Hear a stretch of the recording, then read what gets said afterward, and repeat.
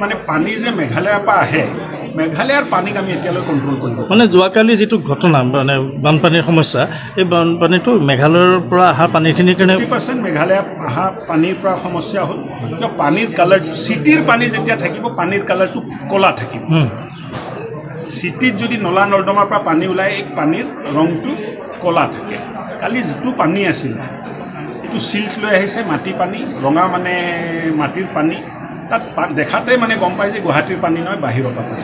গুৱাহাটীৰ বানপানীৰ যোৱাকালি যিটো বানপানী হ'ল কালি ডেৰ ঘণ্টাত এশ one thirty six M M এইটো পাঁচ চাৰে পাঁচ ইঞ্চিৰ ওচৰা ওচৰি ডেৰ ঘণ্টাত বৰষুণ হ'ল। এই বৰষুণৰ যিটো পৰিমাণ এই যিটো পানীৰ পৰিমাণ এই পানীটো গুৱাহাটীৰ নলা নৰ্দমাই টানিব নোৱাৰে। সেইকাৰণে পানী ৰাস্তাৰ ওপৰত ৰৈ আৰু কালি গুৱাহাটীত যিটো পানী আমি দেখিলোঁ এই পানীৰ পৰা ইফেক্টেড হৈছিল দিছপুৰ চাৰ্কিল দিছপুৰ মোজা যিটো আছে বা দিছপুৰ চাৰ্কিল যিটো আমি কওঁ দিছপুৰ চাৰ্কিল অফিচাৰৰ আণ্ডাৰত যিখিনি এৰিয়া এই এৰিয়াবোৰ পানীত প্লাৱিত হৈছে। তাৰ কাৰণটো হ'ল যে আধাতকৈ অধিক পানী মেঘালয়ৰ পৰা। মেঘালয়ত U S T M university হ'ল বি পি এছ স্কুল হ'ল পাহাৰবোৰ কটা গ'ল আৰু এই পানীবোৰ বাগৰি এতিয়া গুৱাহাটীত। মানে পাহাৰ ধ্বংসৰে মূল কাৰণ নেকি?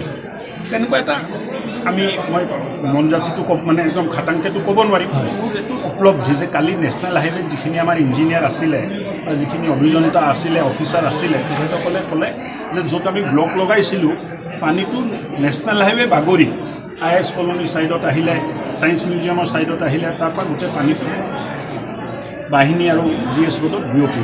যান বাহন আবদ্ধ হৈ পৰিছে মানুহে যথেষ্ট অসুবিধা বেছি আহিছিলে মানুহ বহুত অসুবিধা হৈছে। মানুহ ঘৰৰ পৰা ওলাব পৰা নাই। মানুহ নহয় নহয় ঘৰত ঘৰ যাব পৰা নাই বুলি কওঁ ওলাব পৰা নাই। ৰাতি মানুহে ঘৰ যাব পৰা নাই আনকি মানুহ বাৰটা বজাতো ঘৰ পাইছে এটা বজাতো ঘৰ পাইছে। মই দুখিত যে এই ঘটনা ঘটনাটো হ'ল।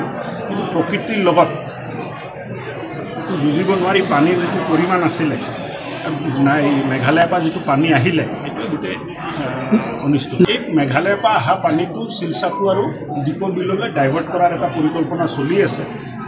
ডি পি আৰ হৈ আছে মই ভাবোঁ অতি সোনকালে দুই তিনিমাহৰ ভিতৰত আমি কাম বৰ্তমানে বিফল হৈ আছে ধৰক। নাই মানে মেগনিটিউড যিটো আছে তাততো আমি বিফল হৈছোঁ। যিমান যিটো পৰিমাণৰ পানী আহিছে সেইটো হেণ্ডেল কৰিব নোৱাৰোঁ আমি।